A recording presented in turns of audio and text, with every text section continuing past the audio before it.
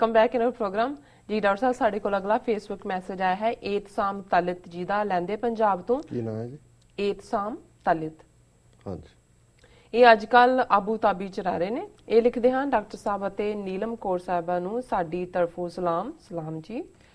Doctor Sahib ji ਦੀ ਰਾਏ ਲੈਣੀ ਸੀ ਇੱਕ ਗੱਲ ਤੇ। ਡਾਕਟਰ ਸਾਹਿਬ ਮੁਸਲਮਾਨਾਂ ਅਤੇ ਸਿੱਖਾਂ ਵਿੱਚ ਲਗਾਤਾਰਤਾ ਨਾਲ ਵਿਰੋਧ ਵੀ ਵੱਧ ਰਿਹਾ ਹੈ। ਅਤੇ ਬੜੀਆਂ ਖੂਨ ਡੋਲਵੀਆਂ ਜੰਗਾਂ ਨਹੀਂ, ਵੀ। ਵੱਧ ਨਹੀਂ ਰਿਹਾ ਵਿਰੋਧ ਵਿਰੋਧ ਵੀ ਰਿਹਾ ਹੈ ਸੌਰੀ ਤੁਸੀਂ ਬਿਲਕੁਲ ਮਤਲਬ ਉਲਟਾ ਕਰਤਾ ਉਹਦਾ। ਸੌਰੀ ਡਾਕਟਰ ਸਾਹਿਬ। ਡਾਕਟਰ ਸਾਹਿਬ ਮੁਸਲਮਾਨਾਂ ਤੇ ਸਿੱਖਾਂ ਵਿੱਚ ਲਗਾਤਾਰਤਾ ਨਾਲ ਵਿਰੋਧ ਵੀ ਰਿਹਾ ਹੈ ਅਤੇ ਬੜੀਆਂ ਖੂਨਡੋਲਵੀਆਂ ਜੰਗਾਂ ਵੀ ਹੋਈਆਂ ਨੇ। ਲੇਕਿਨ ਇੱਕ ਦੌਰ ਅੱਜ ਦਾ ਵੀ ਹੈ ਕਿ ਇੱਕ ਕਿਸਮ ਦਾ ਆਪਸੀ ਆਦਰ ਮਾਨ ਅਹ, ਪਾਇਆ ਜਾਂਦਾ ਹੈ ਸਿੱਖਾਂ ਅਤੇ ਮੁਸਲਮਾਨਾਂ ਵਿਚਾਲੇ। ਪਾਕਿਸਤਾਨ ਸਿੱਖਾਂ ਲਈ ਇੱਕ ਸੁਰੱਖਿਅਤ ਥਾਂ ਵੀ ਸਮਝੀ ਜਾਂਦੀ ਹੈ। ਡਾਕਟਰ ਸਾਹਿਬ ਜੀ ਇਸ ਦੀ ਵਜ੍ਹਾ ਦੋਸਤਾ ਦੋਸਤ ਦੋਸਤ ਅਤੇ ਦੋਸਤਾ ਦੋਸਤ ਦੁਸ਼ਮਣ ਦੁਸ਼ਮਣ ਹੈ। ਜਾਂ ਫਿਰ ਦੋਨਾਂ ਦੀਆਂ ਅੱਖਾਂ ਖੁੱਲ ਚੁੱਕੀਆਂ ਹਨ। ਕੀ ਕਹੋਗੇ ਤੁਸੀਂ ਇਸ ਬਾਰੇ ਡਾਕਟਰ ਸਾਹਿਬ ਜੀ? ਜੀ ਡਾਕਟਰ ਸਾਹਿਬ। ਇਤਰਾਮ ਇਤਸਾਮ ਤਲਤ ਜੀ ਦਾ ਬਹੁਤ-ਬਹੁਤ ਸ਼ੁਕਰੀਆ। ਉਹਨਾਂ ਨੇ ਸਾਨੂੰ ਲਿਖਿਆ। ਅੱਜ ਕੱਲ ਉਹ ਆਬੂ ਧਾਬੀ ਚ ਨੇ। ਜੀ। ਸਬੰਧ ਉਹਨਾਂ ਦਾ ਲੈਂਦੇ ਪੰਜਾਬ ਨਾਲ। ਔਰ ਉਹਨਾਂ ਨੇ ਸ਼ੁਰੂਆਤ 'ਚ ਇਹ ਕਿਹਾ ਵੀ ਔਰ ਇਹ ਇੱਕ ਇਮਾਨਦਾਰੀ ਹੁੰਦੀ ਹੈ ਜਦੋਂ ਤੁਸੀਂ ਹਿਸਟਰੀ ਨੂੰ ਜਾਂ ਬੀਤੇ ਨੂੰ ਇਮਾਨਦਾਰੀ ਦੇ ਨਾਲ ਐਨਾਲਾਈਜ਼ ਕਰਦੇ ਹੋ, ਪੜਚੋਲ ਕਰਦੇ ਹੋ ਉਸ ਨੂੰ ਰਿੜਕਦੇ ਹੋ ਤੇ ਆਪਣੀਆਂ ਕਮਜ਼ੋਰੀਆਂ, ਆਪਣੀਆਂ ਤਾਕਤਾਂ ਸਟਰੈਂਥਸ ਐਂਡ ਵੀਕਨੈਸਸ ਉਹਨਾਂ ਦਾ ਹਿਸਾਬ ਕਿਤਾਬ ਲਾਉਂਦੇ ਹੋ, ਫਿਰ ਤੁਹਾਡਾ ਫਿਊਚਰ ਦਾ ਰਿਸ਼ਤਾ ਜ਼ਿਆਦਾ ਇਮਾਨਦਾਰਾਨਾ ਹੁੰਦਾ ਹੈ। ਤੇ ਇੱਕ ਜਿਹੜਾ ਹੁੰਦਾ ਜੀ, ਮਿੱਟੀ ਪਾਓ ਮਿੱਟੀ ਪਾਓ ਉਹ ਮਿੱਟੀ ਪਾਓ ਰੋਟੀ ਖਾਓ ਉਹ ਮਿੱਟੀ ਨਹੀਂ ਪੈਂਦੀ ਹੁੰਦੀ ਉਹ ਕਿਉਂਕਿ ਜਿਹੜੀਆਂ ਚੀਜ਼ਾਂ ਟਰੂਥ ਹੁੰਦੀਆਂ ਨੇ ਉਹ ਟਰੂਥ ਹੀ ਹੁੰਦੀਆਂ ਨੇ। ਉਹ ਕਿਤੇ ਨਾ ਕਿਤੇ ਆ ਕੇ ਫਿਰ ਤੇ ਜੇ ਤੁਸੀਂ ਪਹਿਲਾਂ ਹੀ ਉਹ ਸਾਰਿਆਂ ਨੂੰ ਕਲੀਅਰ ਕਰ ਲਿਆ ਹੁੰਦਾ ਫਿਰ ਔਰ ਉਹਦਾ ਇੱਕ ਪਰਸਪੈਕਟਿਵ ਹੁੰਦਾ ਹੈ, ਫਿਰ ਉਹ ਜਿਹੜੀ ਰਿਲੇਸ਼ਨਸ਼ਿਪ ਹੈ ਉਹ ਸਾਮੀ ਹੁੰਦੀ ਹੈ। ਜੀ। ਉਹਨਾਂ ਨੇ ਇਸ ਗੱਲ ਦਾ ਨੂੰ ਕਿਹਾ ਕਿ ਵੀ ਜਿਹੜਾ ਸ਼ਦੀਦ ਉਹਨਾਂ ਨੇ ਸ਼ਬਦ ਵਰਤਿਆ ਸੀ ਕਿ ਮੁਸਲਮਾਨਾਂ ਸਿੱਖਾਂ ਦਾ ਜਿਹੜਾ ਇਹ ਆਪਸੀ ਲਗਾਤਾਰਤਾ ਦੇ ਨਾਲ ਰਿਹਾ ਵਿਰੋਧ ਵੀ ਔਰ ਲੌ ਡੋਲਵੀਆਂ ਲੜਾਈਆਂ ਵੀ ਹੋਈਆਂ।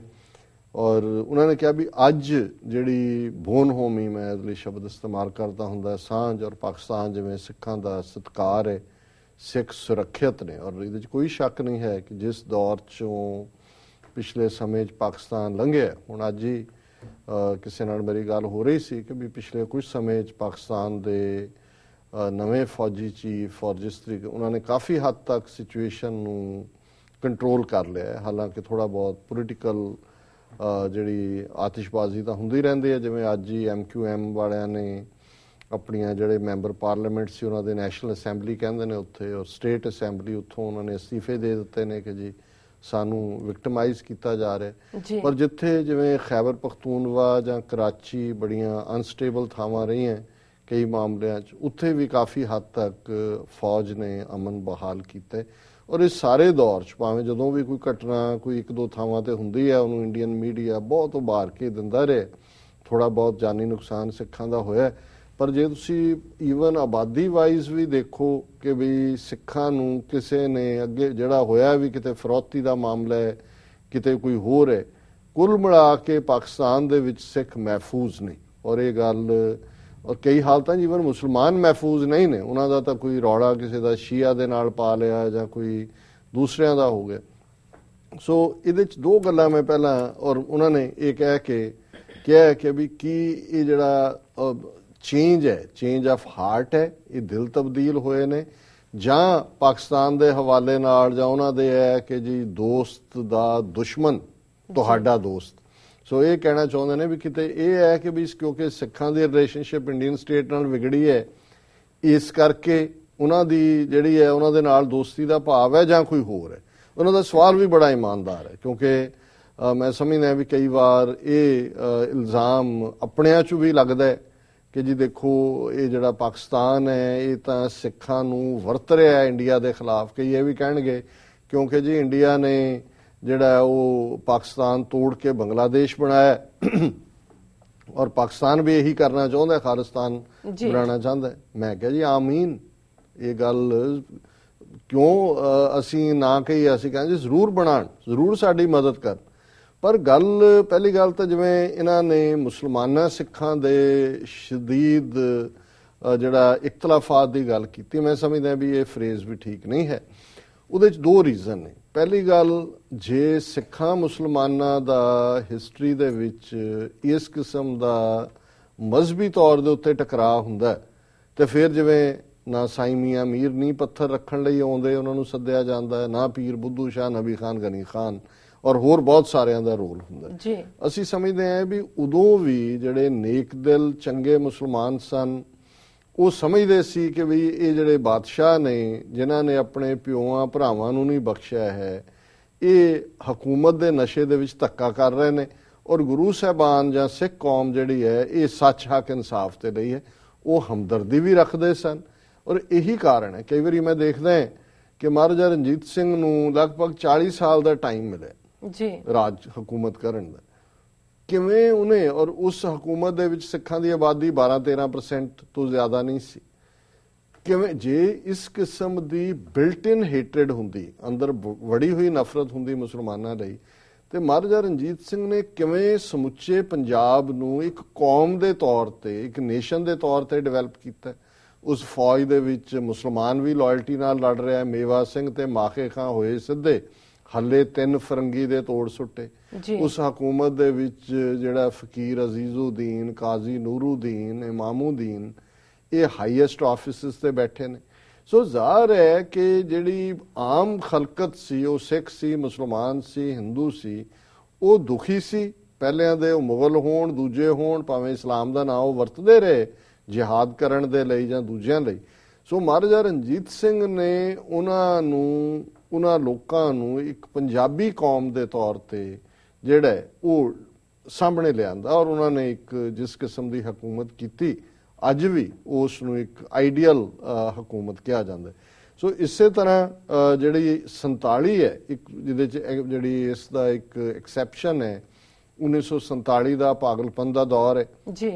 ਪਰ ਜੇ ਤੁਸੀਂ 47 ਦੇ ਹਵਾਲੇ ਨਾਲ ਵੀ ਦੇਖੋ ਪਿਛਲੇ ਦਿਨਾਂ 'ਚ ਹੀ ਭੀਸ਼ਮ ਸਾਨੀ, ਜਿਹੜਾ ਬਲਰਾਜ ਸਾਨੀ ਦਾ ਵੱਡਾ ਭਰਾ ਸੀ, ਉਸ ਦੀ ਡੈਥ ਦੀ 100th ਐਨੀਵਰਸਰੀ ਸੀ, ਤੇ ਮੈਂ ਖਬਰ ਕਿਤੇ BBC ਤੇ ਦੇਖੀ, ਤੇ ਮੈਨੂੰ ਕੁਦਰਤੀ ਖਿਆਲ ਆਇਆ, ਮੈਂ ਕਿਹਾ ਕਿ ਵੀ ਇਹਨੇ ਇੱਕ ਨਾਵਲ ਲਿਖਿਆ ਸੀ, ਭੀ- ਭੀਸ਼ਮ ਸਾਨੀ ਨੇ ਤਮਸ ਦਾ ਮਤਲਬ ਡਾਰਕਨੈਸ ਹੁੰਦਾ, ਔਰ ਉਹਦੇ ਤੇ ਬੇਸ ਕੋਈ ਸੀਰੀਅਲ ਬਣਿਆ ਸੀ 70ਵੇਂ ਚ, ਤੇ ਉਹ ਜਦੋਂ ਭਾਰਤੀ ਟੈਲੀਵਿਜ਼ਨ ਤੇ ਚੱਲਿਆ, ਤੇ ਆਰਐਸਐਸ ਵਾਲਿਆਂ ਨੂੰ ਉਹਦੀ ਬਹੁਤ ਤਕਲੀਫ ਹੋਈ ਸੀ, ਤੇ ਉਹਨਾਂ ਨੇ ਕਈ ਥਾਂ ਤੇ ਸਟੂਡੀਓਜ਼ ਤੇ ਅਟੈਕ ਕੀਤੇ ਸੀ ਜਾ ਕੇ। ਸੋ ਮੈਨੂੰ ਕੁਦਰਤੀ ਯਾਦ ਸੀ ਮੈਂ ਸਰਚ ਕਰਕੇ ਉਹਨੂੰ ਤਮਸ ਨੂੰ ਕੱਢ ਲਿਆ। ਜੀ। ਔਰ ਉਹਨੂੰ ਮੈਂ ਪੜਿਆ ਹਾਲਾਂ ਮੈਂ ਦੋ ਸਿਟਿੰਗਸ ਦੇ ਵਿੱਚ ਹੀ ਕਾਫੀ 300 ਤੋਂ ਜ਼ਿਆਦਾ ਸਫੇ ਨੇ। ਉਹ ਇੰਨਾ ਫੈਸੀਨੇਟਿੰਗ ਹੈ ਉਹ।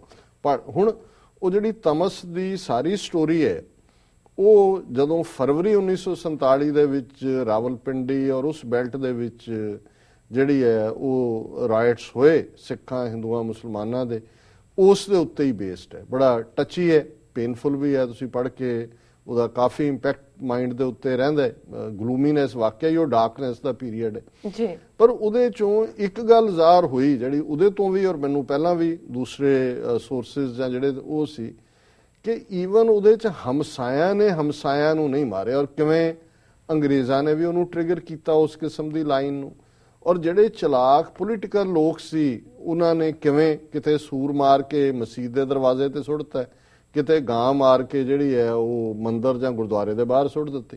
ਔਰ ਉਹ ਉਹ ਲੋਕ ਸੀ ਜਿਹੜੇ ਪੇਸ਼ਾਵਰ ਲੋਕ ਕਿਸੇ ਦੇ ਲਈ ਕੰਮ ਕਰ ਰਹੇ ਸੀ। ਜੀ। ਇਹ ਨਹੀਂ ਹੋਇਆ ਵੀ ਪਿੰਡ ਦੇ ਲੋਕਾਂ ਨੇ ਉੱਠ ਕੇ ਹੀ ਪਿੰਡ ਉਹਨਾਂ ਨੇ ਰਾਦਰ ਪ੍ਰੋਟੈਕਟ ਕੀਤਾ ਇੱਕ ਦੂਜੇ ਨੂੰ।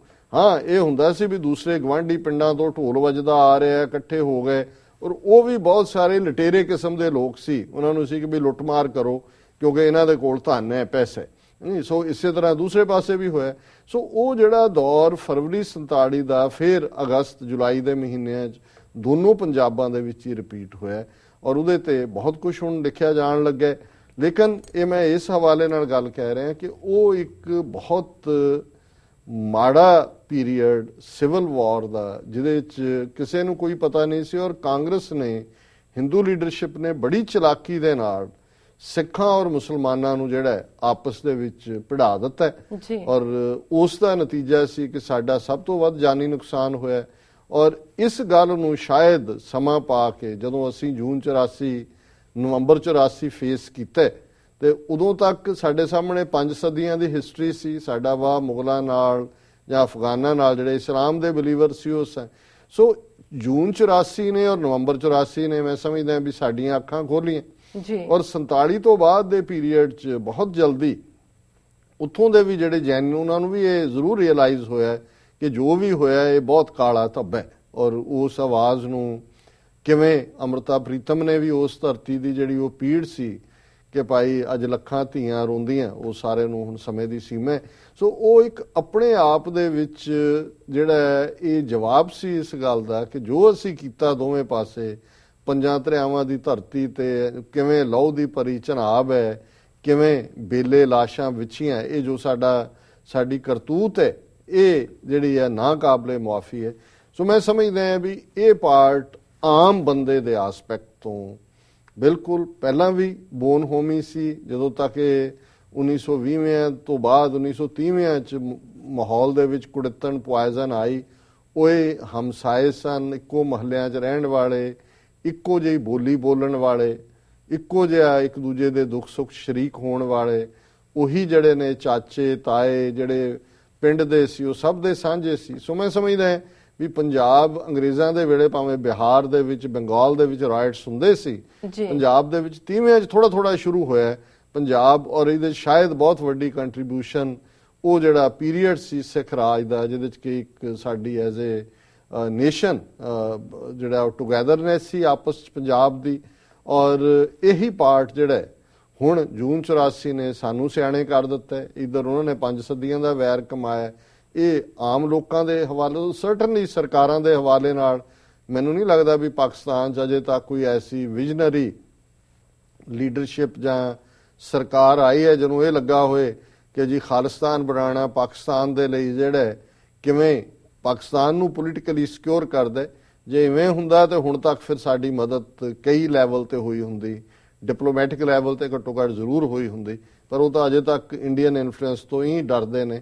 ਲੇਕਿਨ ਕਾਮਨ ਪਾਕਿਸਤਾਨੀ ਜਿਹੜਾ ਹੈ ਉਹ ਸਿੱਖਾਂ ਨੂੰ ਪਿਆਰ ਕਰਦਾ ਹੈ ਔਰ ਸਿੱਖ ਵੀ ਉੱਥੇ ਜਾ ਕੇ ਮਹਿਸੂਸ ਕਰਦੇ ਨੇ ਵੀ ਜਿੰਨੀ ਇੱਜ਼ਤ ਸਾਡੀ ਇੱਥੇ ਹੈ ਉਨੀ ਦੁਨੀਆ 'ਚ ਕਿਤੇ ਨਹੀਂ ਹੈ। ਔਰ ਅਸੀਂ ਵੀ ਜਿਹੜੇ ਅ, ਥੋੜੇ ਬਹੁਤ ਇਹ ਸਾਰੀ ਗੇਮ ਨੂੰ ਸਮਝਦੇ ਹਾਂ ਵੱਡਾ ਹਿੱਸਾ ਸਿੱਖਾਂ ਦਾ ਜਿਹੜਾ ਉਹ ਇਸ ਗੱਲ ਨੂੰ ਹੁਣ ਸਮਝਦਾ ਕਿ ਕਿਵੇਂ 47 ਦੇ ਦੌਰ 'ਚ ਸਾਨੂੰ ਇੱਕ ਦੂਜੇ ਦੇ ਨਾਲ ਪੜਾਇਆ ਗਿਆ ਔਰ ਕਿਵੇਂ ਸਾਡੀ ਜਿਹੜੀ ਨਾਅਹਿਲ ਅਕਾਲੀ ਲੀਡਰਸ਼ਿਪ ਹੈ ਉਹ ਕਾਂਗਰਸ ਦੇ ਹੱਥਾਂ 'ਚ ਖੇਡੀ ਪਾਕਿਸਤਾਨ ਦਾ ਵਿਰੋਧ ਕਰਨ ਲਈ ਉਹਨਾਂ ਨੂੰ ਵਰਤਿਆ ਔਰ ਉਸ ਨੇ ਉਸ ਨਫ਼ਰਤ ਦੇ ਬੀਜ ਨੂੰ ਬੀਜਿਆ। ਸੋ ਇਹਨਾਂ ਦਾ ਤਲਤ ਜੀ ਦਾ ਬਹੁਤ ਸ਼ੁਕਰੀਆ। ਉਹਨਾਂ ਨੇ ਬੜਾ ਰੈਲੇਵੈਂਟ ਸਵਾਲ ਪੁੱਛਿਆ। ਜੀ ਰਸਾ ਸੁਣਾ ਲੈਣੇ ਬ੍ਰੇਕ ਵਿਊਅਰਸ ਤੁਸੀਂ ਕਿਤਨੀ ਜਾਣਾ? ਮਿਲਦੇ ਆ ਛੋਟੇ ਵਕਫੇ ਤੋਂ ਬਾਅਦ।